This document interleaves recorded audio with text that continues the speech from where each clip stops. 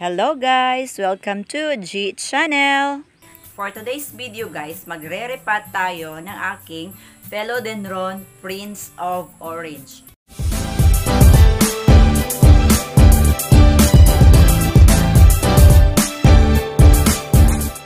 Kasi sa nakikita ko guys, maliit yung kanyang pot at lumalaki na siya yung ating philodendron. Actually guys, maraming klase ng philodendron pero meron akong philodendron dito sa bahay na favorite ko talaga siya. Isa lang yung favorite ko guys. Marami namang magagandang philodendron. Meron akong five kinds of philodendron dito sa bahay. Pero yung pinaka-favorite ko talaga guys is yung Prince of Orange. For today's video guys, ituturo ko sa inyo paano ba i-repat yung ating Philodendron Prince of Orange. At paano ba yung kanyang care tips, paano ba siya alagaan, ano ba yung right soil mix para sa kanya, ano ba yung, yung proper watering para sa kanya, ano ba yung sunlight requirements para sa kanya. Watch out guys! Pero bago tayo magsimula guys, nais ko munang pasalamatan at nais ko munang batiin ang ating mga viewers sa iba't ibang panig ng mundo. Magandang umaga, magandang tanghali at magandang gabi sa inyong lahat. Para sa mga hindi pa nakapag-subscribe sa aking channel, mag-subscribe na po kayo. And of course, hit the notification bell para po ma-notify kayo sa susunod ko pang mga videos. Papakilala ko sa inyo guys at ipapakita ko sa inyo ang aking Philodendron Prince of Orange. Ito siya guys, yung aking Philodendron Prince of Orange. So, as you can see, malaki siya. Yan, malaki yung kanyang mga dahon. Ito. Ang kanyang pot guys is maliit lang. O, ito lang yung kanyang pot. So, kung nakikita nyo guys, may mga lumot. May mga lumot yung kanyang pot. Kasi nakakatulong din itong mga lumot para ma-maintain yung moist ng ating soil. So, ayan. So, kung titignan natin, lumalabas na yung kanyang mga ugat. Yan, oh. Mabigat siya. Man, maliit lang yung pot, guys. Pero pag clay pot kasi, mabigat. Sobrang bigat. Ito, ito yung kanyang mga ugat. Yung kanyang mga roots na lumalabas, guys. Kasi itong si Philodendron, hahaba siya at aakyat siya. Umaakyat siya, guys. Pakabigat niya. So, ngayon naman, guys, i-repat natin siya. Pero bago natin siya i-repat, prepare muna natin yung kanyang soil mix. So, ano nga ba yung soil na nababagay kay Philodendron Prince of Orange? Yung soil mix na ipi-prepare natin ngayon guys is loam soil or garden soil, pwede rin. At saka, hahaluan natin siya ng rice hull, yung bulok na rice hull, at saka haluan natin siya ng cocoa husk. Kasi, yung cocoa husk kasi, ito siya guys. So, pinachop-chop ko na siya ng maliit, yung kukuhas, kasi para mahalo siyang maigi sa ating soil at saka sa ating rice hull. So, itong kukuhas kasi guys, pag diniligan mo siya, sumisip-sip siya ng tubig upang mapanatili na mag-moist yung kanyang soil sa loob ng kanyang pot. So, ito siya. At saka, yung soil kasi dapat ni Prince of Orange is hindi siya dapat matigas na soil. Dapat malambot lang yung kanyang soil. Saka hindi siya compact. Hindi compact yung kanyang soil. So, dapat panatilihin yung moist. At saka, didiligan lang natin siya. Yung water requirement din niya is didiligan lang natin siya kapag ka tuyo na yung upper part ng kanyang soil doon sa kanyang pot. Saka, hindi din natin siya didiligan ng too much na water kasi magkakaroon siya ng root rot. Mabubulok yung iba niyang ugat, lalong-lalo na pag may sugat yung kanyang ugat, so mabubulok yung kanyang ugat. Ito yung aking nabili na pot, guys, malaki. Yung tatlo na malalaki, guys, tatlo sila is 30 pesos bawat isa. Malaki na siya, 30 pesos. Murang-mura na lang yung pot ngayon. Ito namang malaki na to guys. Ito yung pagtatamnan ko kay Prince of Orange. Kay Philodendron Prince of Orange. Malaking malaki siya guys. Kasya yung kasya yung ulo ko. Mas malaki pa siya sa ulo ko. Yan. Ayan no. Ito yung pagtamnan ko kay Prince of Orange. Titingnan natin guys. Well draining yung pot na to. Kasi malalaki yung kanyang butas. Hindi kasi dapat na nagsistay ng matagal yung water, nag, hindi nagde-drain yung water sa loob ng pot kasi mabubulok yung mga roots ng ating Prince of Orange. So, ito yung pagtatamnan ko sa kanya, guys. Lalagyan natin siya ng soil mix na yung sinasabi ko na loam soil or garden soil at saka lalagyan natin siya ng yung mga bulok na rice hull at saka hahaluan natin siya ng cocoa husk. Pwede rin cocoa pit pero wala akong available na cocoa pit kaya cocoa husk yung ihahalo ko sa aking potting mix. So ito yung ating soil at hahaluan lang natin siya nitong cocoa husk. So, kuha tayo ng soil at ilalagay natin dito.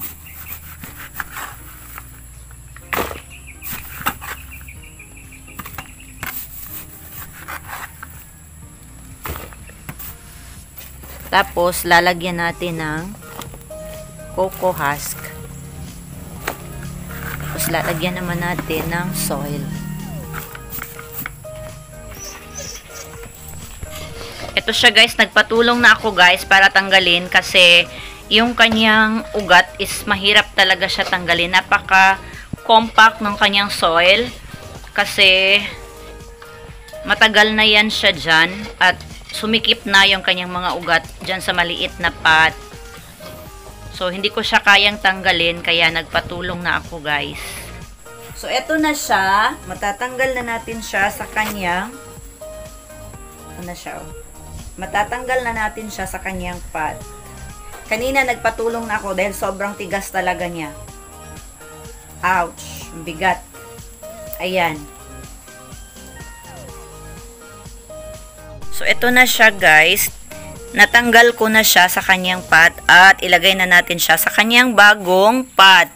Ito at nilalagyan ko na siya ng cocoa husk at ayan na siya. So, magpapatulong na naman tayo ulit guys dahil mahihirapan tayo sa kalisod. Ayan. So, ito yung pagre-repat natin ng ating Philodendron Prince of Orange. Lalagyan lang natin ng kukuhask yung gilid-gilid para hindi totally mag-dry or hindi totally na mag-compact yung kanyang soil.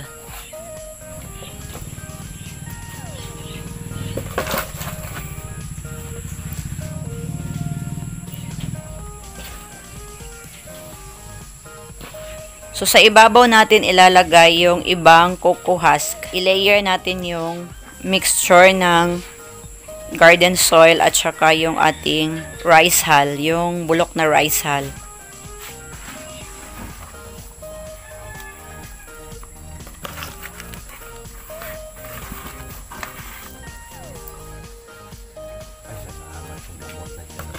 Yan, at tapos na nating iripat yung ating Philodendron Prince of Orange. So, ito na yung kanyang pot ngayon, guys. Oh, malaki na yung kanyang pot. Ayan. At ito yung bagong soil mix niya, guys. Para mas lalo pa siyang lumaki at tumubo. Ganyan siya kalaki yung ating Prince of Orange. So, eto na siya guys. Eto na yung ating bagong ripat na Philodendron Prince of Orange. Ayan. Ito yung pinakabago niyang dahon guys. So, kung titignan natin, napakaganda ng kulay ng kanyang dahon. Meron siyang, meron siyang, may pagka-orange sa, sa harap. Yan oh. May pagka-yellow-green na may pagka-orange sa harap, tsaka sa likod yan o, oh, tingnan nyo guys. As you can see, napakaganda niyang kanyang dahon sa likod. Yan. Ito yung beauty ng ating Prince of Orange. O yan o. Oh. Tsaka napakalaki ng kanyang dahon guys. Mas malaki pa sa mukha ko. Yan o. Oh. So, ito. Ito pa yung kanyang mga dahon. Titignan natin yung kanyang mga dahon sa likod. May pagka-orange yung mga dahon niya sa likod. So, napakaganda. At saka yung kanyang, yung stalk ng kanyang dahon, guys, is orange din. Saka meron pa tayo dito na bagong tubo na dahon niya, guys. Yan. oh. Ganito kaganda. Yung, ganito yung beauty ni Prince of Orange. Yan. Right. Ano ba yung required sunlight kay Prince of Orange? Morning sunlight lang din siya guys, kagaya ng ibang plant. Itong si Prince of Orange kasi, maselan siya sa sobrang init ng araw. So, direct sunlight. Kapag ka naaarawan siya, mas madaling masusunog yung kanyang mga dahon. Ayaw na ayaw talaga niya yung direct sunlight. So, nabubuhay siya kahit walang sunlight. Nabubuhay lang siya ng kahit konting-konting sunlight lang sa gilid ng bahay o sa, sa tabi ng bintana ng bahay mo. Yun, nabubuhay siya. Nabubuhay din siya sa indoor, sa loob ng bahay natin. Tsaka maganda din siyang air purifier sa loob ng ating bahay, guys. Malalaki yung kanyang dahon. Kung ganito siya kalaki ngayon, mas lalaki pa ito siya, guys. So, yun lang tips ko para hindi pumangit yung ating philodendron. Huwag natin siyang ibilad sa sobrang init ng araw. Kasi magbo-bloom lang siya pag ah, nasa shaded area siya. Yung water requirement natin sa kanya, didiligan lang natin siya kapag so, tuyo na yung kanyang upper part ng kanyang soil dito sa kanyang pot. At panatilihin din natin na moist yung kanyang soil kasi gustong gusto niya ng moist na soil.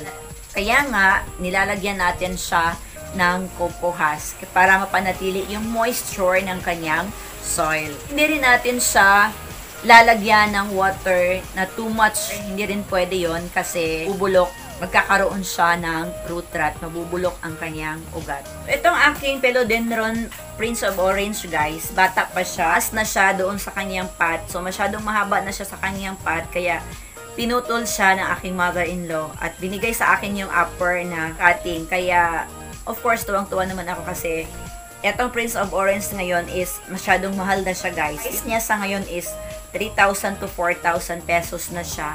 So, I'm lucky na binigyan ako ng ganito kasi gusto ko siyang alagaan talaga ng flower. Kasi ma kayun nga, mahal na siya ngayon. Pag ikakat natin siya guys, magkakaroon siya ng bagong babies. Yung pinagputulan natin sa kanya. Pero sa ngayon, hindi muna natin siya i-propagate, hindi muna natin siya ikat kasi ah, bago pa lang siya. Yan. So, ikakat lang natin siya pag meron na siyang stable na root. So, hindi muna natin siya ikat sa ngayon. I-update ko na lang kayo sa susunod pag magpupropagate na tayo at ikakat natin siya. So, yun lang muna sa ngayon guys. Maraming salamat sa panonood. I hope na nakapagbigay ako ng konting tips sa inyo kung paano alagaan at paano ba yung tamang pag-aalaga ng ating Philodendron Prince of Orange. Thanks for watching. I hope you enjoyed watching, guys. Don't forget to like, don't forget to subscribe para sa mga hindi pa nakapag-subscribe sa aking channel. And of course, don't forget to hit the notification bell para po maging updated kayo sa susunod ko pang mga videos. This Thanks for watching. Bye!